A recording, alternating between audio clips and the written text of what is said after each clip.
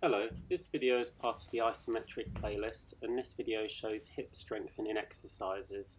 Isometric exercises are static holds which you should hold for about 10 to 45 seconds. This video just shows the basic movements, flexion bringing your leg forward, abduction to the side and extension to the back. And just hold these which will strengthen the muscle at the front, to the side or at the back.